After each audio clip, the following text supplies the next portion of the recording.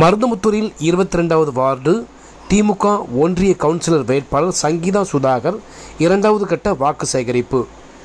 ஆலங்குளம் ஊராட்சி ஒன்றியம் மருதம்புத்தூர் இருபத்தி ரெண்டாவது வார்டு திமுக ஒன்றிய கவுன்சிலர் வேட்பாளர் சங்கீதா சுதாகர்.